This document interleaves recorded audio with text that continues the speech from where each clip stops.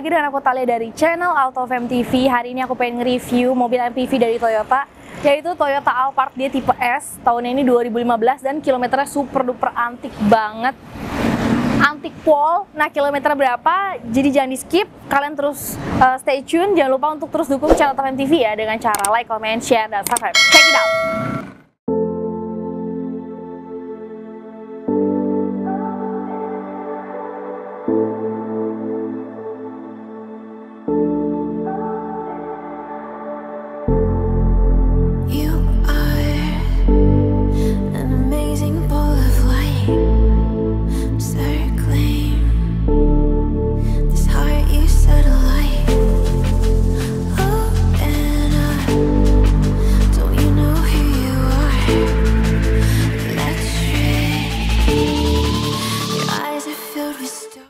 Oke guys, langsung aja nih kita review dari bagian depannya dulu ya. Nah untuk grill, dia udah modelan transformer ya karena start itu di 2015. Dan ini Alphard tipe S 2015, kilometernya super duper antik. Karena kilometernya baru jalan 8000 dan itu asli ya. Karena kelihatan juga sih dari kondisi mobilnya kalau mobil itu masih oke banget untuk ukuran 2015 dan kilometer 8000. Oke, terus untuk di bagian headlamp nih, headlamp dia sudah LED projector dan di bagian bawah ini dia lampu sein. Memang dia masih bohlam biasa ya. Terus di bagian bawah dia ada fog lamp.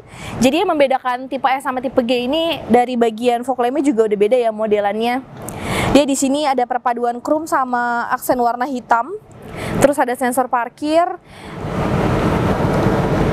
Oke, lanjut kita ke bagian sampingnya. Kita ke profil bannya ya. Oke, untuk ukuran bannya ini dia di 235 per 50 dia pakai ringnya itu 18. Nah, yang membedakan sama tipe G juga dari modelan velgnya ya. Ini dia velgnya silver. Terus kita ke bagian samping nih. Kalau kalian lock atau unlock, ini dia spionnya udah otomatis kelipat sendiri ya. Oke. Dia belum 360. Terus di sini ada lampu sein, spion dia selaras sama warna body ya. Handle pintu dia chrome dan handle pintu di bagian belakang kalau kalian mau buka ini kalian tinggal pencet aja, tinggal di hold. Dia udah otomatis ngebuka sendiri ya. Kalian juga bisa buka dari dalam atau enggak dari kunci juga bisa kanan kiri dia ada tombolnya buat buka pintunya gitu. Oke, lanjut nih kita bahas ke bagian belakang ya.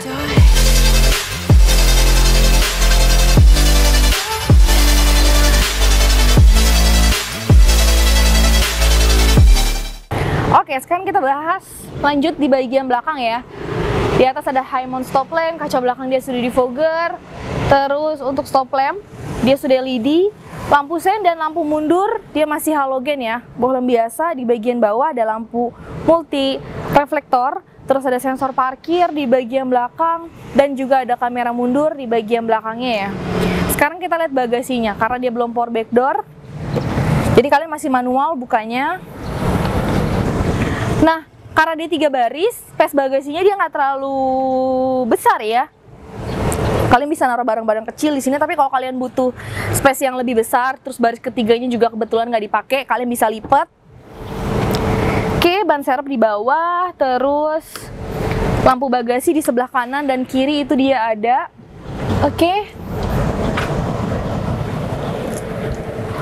Nah, lanjut kita mau bahas ke bagian interiornya ya.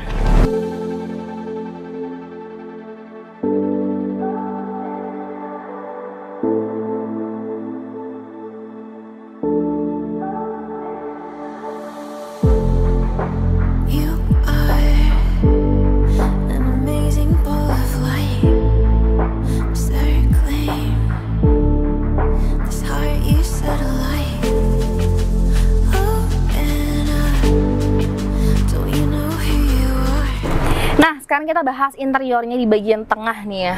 Kita mulai dari bagian door trim dulu lah ya.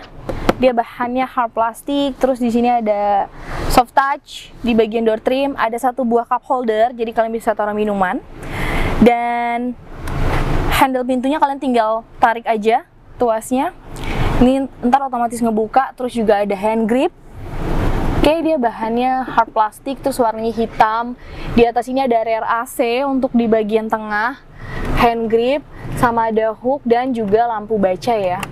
Terus dia ada ambient light yang kalian bisa atur di sini nih dari segi warna dan juga kecerahan dari warnanya. Terus kan di atas ini kan dia ada sunroof dan panoramik kalian bisa close atau open dari bagian tengah sini dan juga ada TV ini kalian bukanya secara manual jadi ada tombolnya.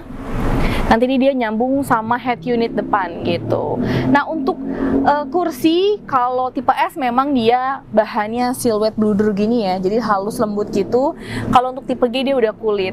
Dan untuk tipe G dia pilot seat kalau ini dia masih captain seat ya jadi nggak ada bagian kupingnya gitu di kanan dan di kiri Terus di bagian tengah sini dia ada meja, ada empat buah cup holder. Di bagian depan ada dua, jadi kalian bisa taruh minuman di sini. Di belakang juga ada dua. Terus ini meja. Kalau kalian nggak mau pakai, tinggal dilipat aja. Di sini ada tuas, jadi memudahkan untuk akses ke bagian belakang gitu. Nah untuk di bagian belakang, ini kalian bisa buat tiga orang ya. Headrestnya juga ada tiga, tapi lebih nyaman eh, sebenarnya dua orang gitu karena kan kursinya terpisah ya tapi so far masih oke lah kalau mau duduk bertiga gitu terus di, di belakang juga dia ada rear AC, hand grip dan juga hook Em, untuk bagian headroom, legroomnya udah pasti dia luas banget ya karena mobil MPV, mobil keluarga juga. Terus ini ada handrest. Jadi kalau kalian nggak mau pakai ini tinggal dilipat aja dikesampingin gitu. Dan ada hook di bagian depan di kursi driver. Di sini ada maksimal 4 kilo jadi kalian bisa gantung barang. Di sini ada tempat penyimpanan juga di kanan kiri. Terus pengaturan kursinya dia semua masih manual ya. Ini untuk maju mundurnya manual terus juga otomennya jadi sandaran eh, pahanya dia juga manual. Sebentar. Nah kayak gini ini harus dikompa ya. Supaya naikinnya dikompa oke kalau nurunin tinggal dinaikin aja tuasnya. Langsung didorong aja. Terus untuk bagian punggungnya juga dia manual. Oke Nah di bagian belakang dia nggak ada eh, colokan apa pun, jadi kalian nggak bisa ngecharge kalau kalian duduk di bagian belakang. Nah sekarang kita mau bahas ke bagian driver.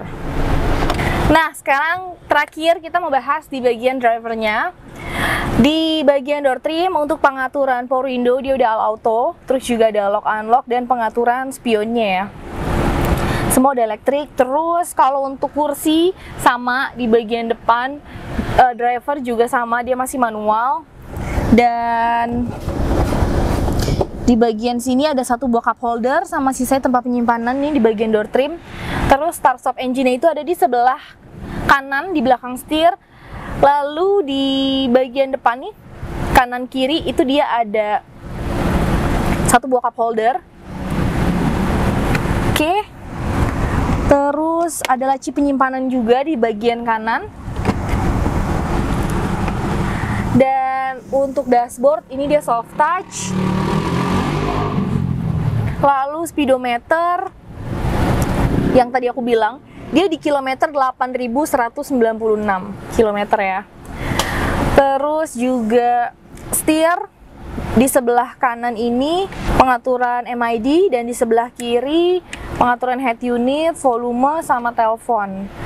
Oke, pengaturan setirnya dia manual dan dia sudah tilt teleskopik ya.